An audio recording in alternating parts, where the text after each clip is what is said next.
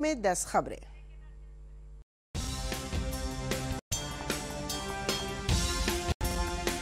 भारतीय विशिष्ट पहचान प्राधिकरण ने परिवार के मुखिया की सहमति से आधार कार्ड में अपना पता परिवर्तन ऑनलाइन करने की सहमति।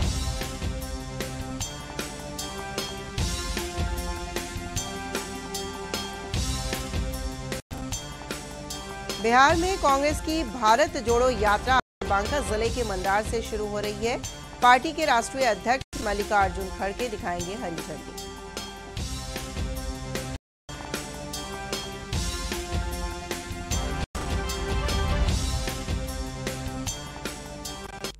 निगरानी विभाग ने सहारा ज़िले के कहरा अंचल कार्यालय के राजस्व कर्मचारी संतोष कुमार झा को पंद्रह हज़ार रुपये रिश्वत लेते हुए रंगे हाथों गिरफ़्तार कर लिया।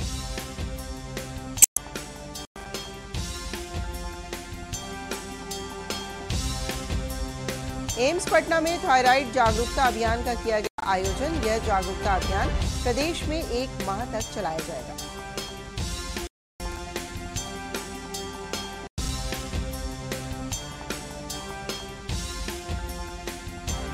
बिहार राज्य खादी ग्रामोद्योग पटना द्वारा आयोजित संवाद कार्यक्रम में पद्मश्री राजकुमारी देवी और किसान चाची ने कहा, अचार में औषधीय गुण होते हैं।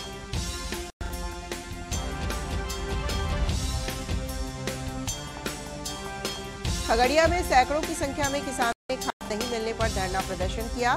आरोप लगाया कि खाद दुकानदार कर रहे हैं मनमानी।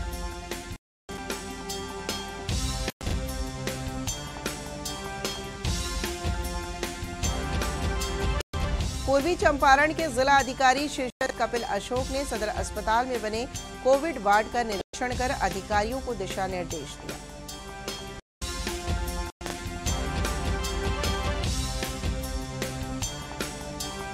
गया पुलिस ने बालू माफिया उमा सिंह को गिरफ़्तार कर लिया है। उमा सिंह के खिलाफ कई आपराधिक मामले दर्ज हैं।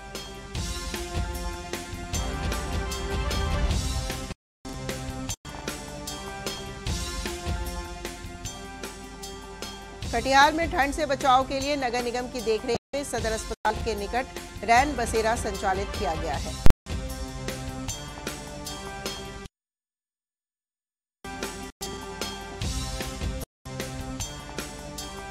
और तीन मैचों की टी ट्वेंटी श्रृंखला में भारत और श्रीलंका के बीच दूसरा मुकाबला आज पुणे में सीरीज़ जीतने के इरादे से उतरेगी भारतीय टीम।